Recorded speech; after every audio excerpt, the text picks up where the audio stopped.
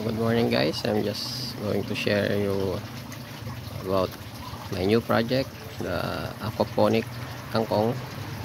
So as you can see here they're quite healthy and green.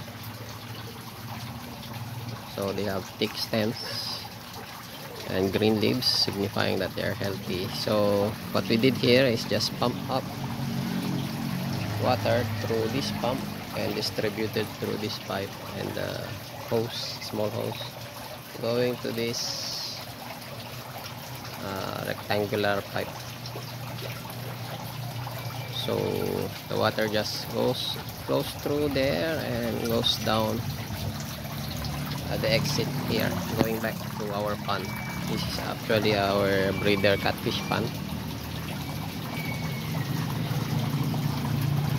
so it's quite successful but we don't know yet how to market this kangkong.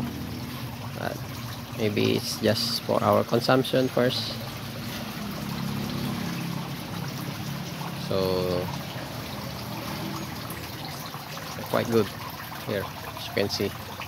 Healthy and thick thick leaves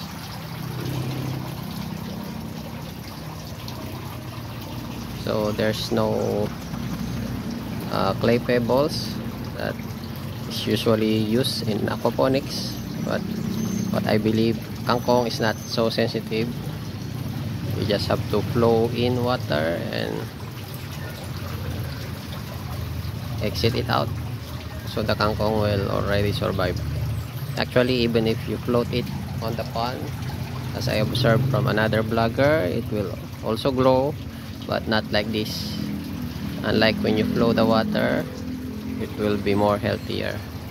So that's our sharing for today. Thank you. God bless. Hope you learned something. Goodbye